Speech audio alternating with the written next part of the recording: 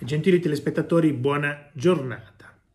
Severnini, giornalista del Corrierone della Sera, è da Lilli Gruber.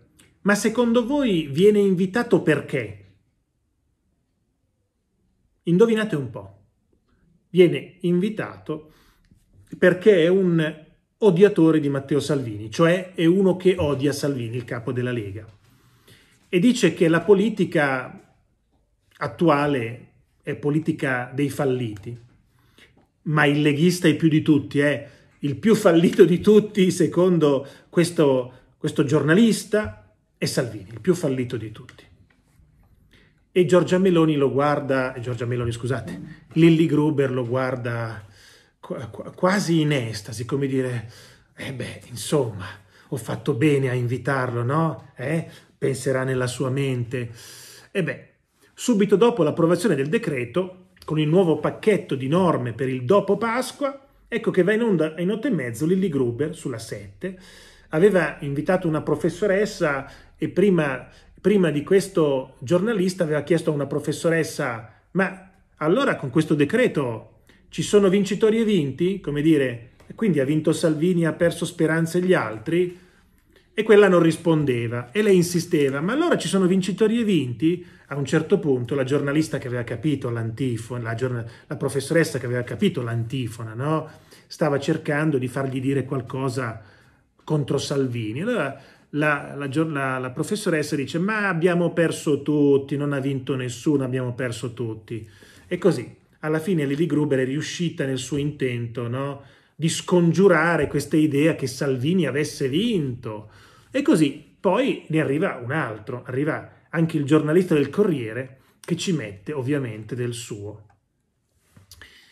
Beh, l'obiettivo non è realmente parlare del decreto appena approvato, l'obiettivo è parlare male di Salvini, no? È un po' la continuazione del PD, è un po' eh, il salotto sinistro di Lilli Gruber è un po' come la prolungazione di Letta, ecco, la prolungazione del PD. La Lega, dopo il, C- il CDM, Consiglio dei Ministri, ha infatti parlato di commissariamento di Roberto Speranza, per aver spuntato un compromesso sulle riaperture. Beh, ovviamente a Lilli Gruber non piace questo eh, Roberto Speranza commissariato da Salvini, non ci può pensare, non ci ha potuto pensare. E allora invita il Beppe Severgini. Una coppia perfetta per dar contro a Matteo Salvini. E Lilli Gruber chiede anche a lui, perché anche questa volta Salvini ha tutto questo bisogno di dichiarare vittoria? Chiede la Gruber al giornalista del Corriere.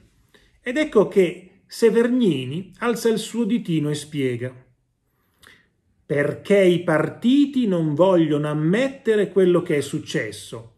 Si sono già scordati ciò che è appena successo e Salvini più di tutti. Ma che è successo? Se Draghi è arrivato è perché la politica dei partiti ha fallito. Non è riuscita a fare il suo mestiere. Non si poteva, come Sergio Mattarella ha spiegato, andare al voto. Questa cosa un giorno sì e l'altro pure la dimenticano quindi alla fine decide Draghi. Se c'è una tempesta in mare, dice il giornalista del Corriere della Sera. Ma attenzione, attenzione. Mattarella ha spiegato che non si poteva andare al voto. Insomma, l'opinione di Mattarella è che non si poteva andare al voto, mentre in molti paesi del mondo hanno votato tranquillamente. Noi l'anno scorso abbiamo votato anche per le regionali, non so se vi ricordate. Beh, però se Mattarella ha detto che non si può andare al voto, il giornalista del Corriere della Sera lo prende come la Bibbia. Lo ha detto Mattarella. Ah, beh, scusi, mi inchino di fronte alla vostra saggezza e all'altare della patria. Beh, quindi secondo, secondo il giornalista i partiti sono dei falliti, ma ricordiamoci che i partiti falliti erano quelli che erano al governo e la Lega non era al governo. È fallito il governo Conte 2. Siamo arrivati a Draghi perché è fallito il governo Conte 2. Non è che hanno fallito i partiti, hanno fallito i partiti di sinistra che erano al governo assieme ai 5 Stelle. piccolissima differenza, cara la mia bella faccia allegra. E così dice, aggiunge, capisco che è difficile ammetterlo, lo è per tutti quanti. Poi ci sono queste giornate di primavera bellissime e ci illudiamo. Cambia il tempo e migliora tutto. Dobbiamo avere ancora un po' di pazienza. Se c'è il mare in burrasca, il comandante ascolta tutti e poi decide. Se c'è il mare in burrasca, il comandante non ascolta tutti. Che va? Va dai passeggeri. Tu che, che ne pensi? Che facciamo adesso che c'è il mare in burrasca? Eh? Tu che dici? Il comandante...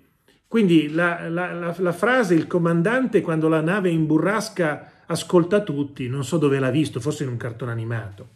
E poi dice, per voi a Draghi non piacerebbe riaprire? Per voi a Draghi non piacerebbe riaprire? Anche Macron ha detto le stesse cose, in più in Francia chiudono anche le scuole.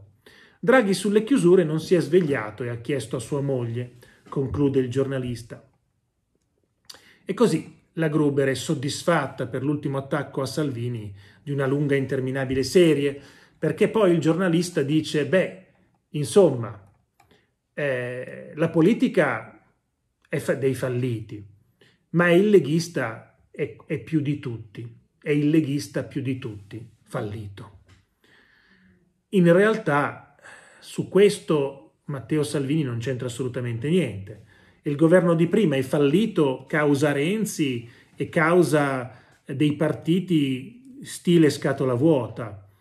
Sulle chiusure, i dati, anzi il vantaggio, la domanda del, del, del perché Matteo Salvini ha bisogno di far capire che sta vincendo? Beh certo, eh, lui è capo di un partito, il partito si è diviso a metà quando è entrato nel governo, dicendo ma che stai una metà ha detto ma che stai facendo e l'altra metà ha esultato dicendo è così che si fa, si combatte da dentro e non si sta fuori.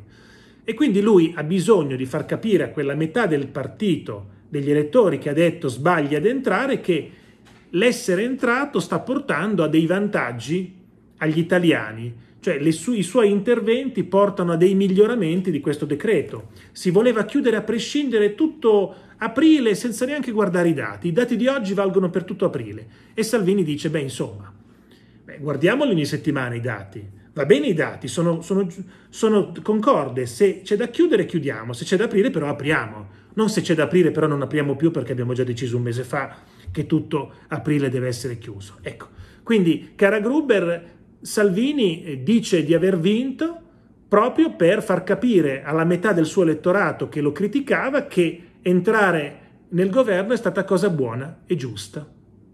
Io vi ringrazio per avermi ascoltato e vi auguro buon proseguimento di giornata. Ci vediamo al prossimo video tra una ventina di minuti. Arrivederci a tutti.